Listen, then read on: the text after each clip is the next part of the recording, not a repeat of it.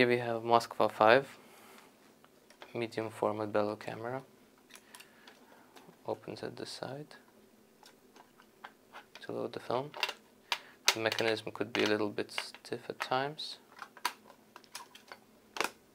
but the rest is in working condition. If you find there is here, you can adjust two parallel images to focus. The shutter speed is at the side. And um, wind. And here's the aperture. Here's the shutter release.